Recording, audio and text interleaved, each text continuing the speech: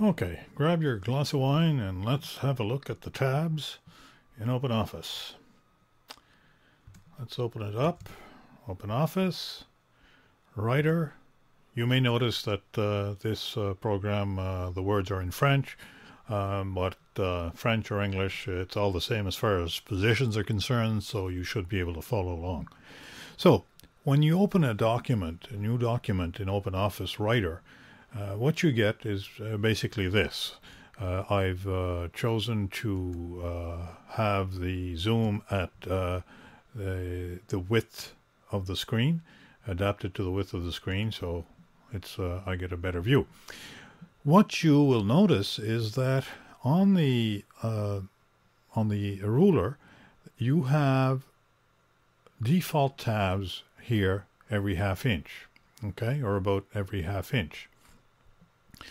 Now, this you might see and you might not see. It depends on what is set up in your default tab positions. And I'll show you where you go and have a look at that. But first of all, let me remind you that OpenOffice works with styles.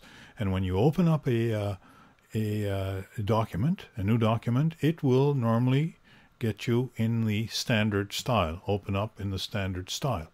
Okay? So in the standard style, if you want to see how your tabs are set up, you would uh, you could go to uh, Tools, okay, Options, and here you see OpenOffice Org Writer General, and here you see Parameters. First of all, units of measure, okay, so here I have chosen inches. Uh, it's uh, actually in French it says uh, pouce, which is the French for inches, but you could choose to have it in centimeters or picas or points, depending on your preference. Uh, I'll use uh, inches for this uh, exercise because I believe that is the probably the most common in North America, although in Canada we do use the metric system for measuring lengths. But anyway, I'll use this and here is where you would indicate how much space you want between your tabs. So now it's at 0.50 inches, so a half inch between the tabs. So guess what? That's why you have a tab every half inch. Okay? So now the tabs, remember, are associated with um, the paragraph. I have here clicked on this button to show my paragraph marks and, and other marks that uh, help out here. If I click on this button, I will lose that. Okay, I'll click it back to see the end of paragraph marker. Now, if I click on my tab key on my keyboard, this is what I will get. I'll move to the half, then to the other one, the other one, etc., etc., etc. So of course if I want to get to 6 inches I'll have to uh, hit that uh, tab key a, a number of times. Alright? So what I will show you here is how to get rid of those uh, default tabs so that you can set up your own manual tabs as you wish. You don't have to get rid of all these tabs to set up your own manual tabs, but some of you may want to. So this is what this video is about. It's just to set up a style where when you open up the document, you have a document that has no tabs showing. And this is how you would do this. You would um, go to styles.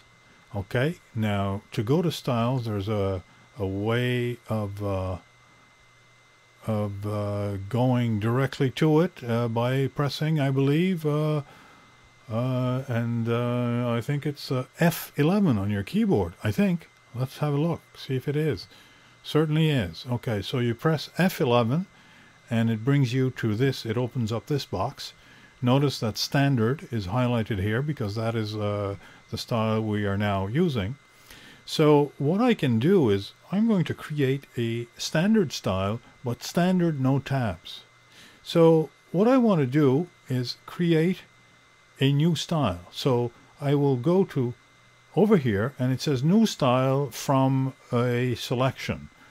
So I'm I'm going to start with the standard, which is highlighted, and I'm going to click this button, and I want to, I have three choices here, and I'm going to take the first one, which is a new style starting from the standard style. So I'm going to click this, and I'm going to call this style standard no tabs. Okay. Now, so now it's in the list, okay? So if I right click on it, I can then uh, add a new one, modify this, or delete it. So I'm going to modify this standards no tab. And what I am going to do here is create a, document which will have no default tabs except one. Actually, I'm going to create a tab which is at eight and a half inches. Since you are working with a probably letter size paper that is eight and a half inches wide, what this will do, it will eliminate all the preset tabs uh, and will give you one tab at eight and a half inches, which is at the very edge of the paper. So no tabs will show up. So I'm going to set it as a, a left-handed tab. It really doesn't matter what you set it at. It's not going to show up anyway.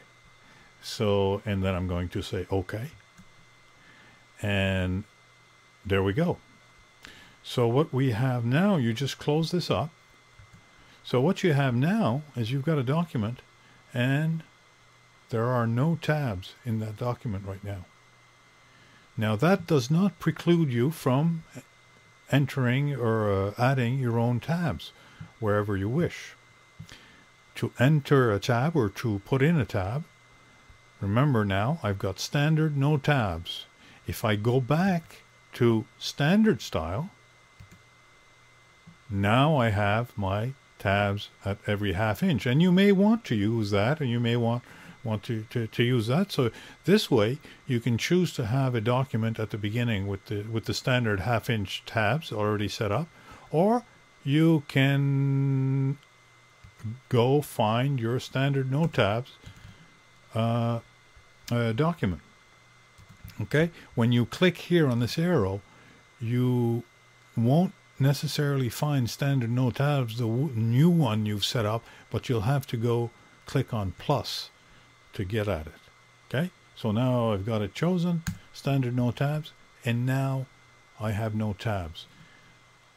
Now I can go enter the tabs the way I want to. Uh, if you want to, the one simple way of adding a tab is just go to where you want it, left click, and it will put in a tab marker. Now this is a left tab. If you want to change it to a right, to a decimal, or to a center tab, you would you would put your cursor on the marker, right click, and then change it to whatever you want. Okay? So right click, decimal, right click again, and change it to whatever you want. Okay? And there you go. Now if I press the tab key now, I will go to one inch. And every time I add a paragraph now, the tab will be the same. If I want to change it, in this paragraph, for example, in this paragraph, I want it to be a 2 inch. Well, why don't I add a 2 inch? If I add a 2 inch, the 1 inch will stay though. That will not change. So now in this paragraph, I have a 1 inch and I have a 2 inch. If I go back to the previous paragraph, you notice that there is no 2 inch, there's only a 1 inch. So it's, it's, it's paragraph dependent. But if I go in this paragraph now and add paragraphs to it, notice that now in these paragraphs I have 1 inch and 2 inch. Okay? Whereas in the first paragraphs, where I only had the one inch, I still only have the one inch. Now let's say I this paragraph it's okay. I want one inch and two inch, but in this paragraph, I want to get rid of the one inch. Well, I put my cursor in that paragraph, drop the one inch, and look at what happens here. It goes directly to two inches. Now what about the, the next paragraph, which was already set at one and two? Guess what? It's still set at one and two. Okay? So basically, that's how the tabs work uh, for uh, OpenOffice. There is another way of setting the tabs, uh, and this uh, you do by you can do by going into Format, Paragraph, and this is where you can set by you know I could go in here and say I want to tab at two inches this is a new one. I want one at 5 inches, a new one, and I want one at 7 inches, a new one. Now I only want them at 2, 5, and 7. Um, so I now see the 850? The 850 is there because that's how I set up the tabs to get rid of the automatic preset tabs. So you can leave that one in, that won't bother you. But I want to get rid of this one, which I will delete. And I want to get rid of this one, which I will delete. So now I have the 2 inch, the 5 inch, the 7 inch, and the 8.5, which is the one that is there normally. And I'm okay. So you see, I have one at 2, at 5, and 7. Actually, 7 is beyond the margins of the document, so it would not be very useful. So, you know, I can pick it and grab it and drag it back to where I want it. So now if I go to this paragraph, what do I have? I still only have the one inch. I only have the one inch. I only have the one inch. Where, how come? How come where did my 5, 7, my 2, 5, and 7 go to? Well, where was my cursor when I put the 2, 5, and 7? My cursor was in this paragraph, the last one. And that's the only paragraph that's, that's affected. So your tabs, if you go and use format paragraph, you will only affect the paragraph in which you are. If you want to affect all paragraphs, you would just select them all and do the same thing. Go into Format, Paragraph, and then here it says zero because there are different tabs in the different paragraphs. So what you would do here is you would simply add the positions you want, where you want your tabs to be. And there you go. That's uh, as simple as it is. Uh, now, if I want to change and go use a, a I want a document with the standard half inch, uh, I could do that.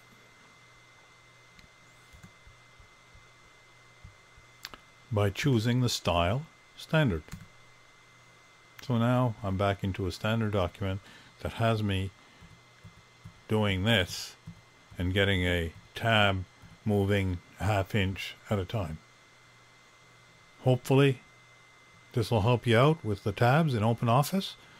Uh, if it doesn't, or if you have suggestions as to, uh, or questions as to how to do things, other things, or other ways of doing it, just uh, drop me a line, drop me a comment, and I'll be uh, glad to uh, try and accommodate you.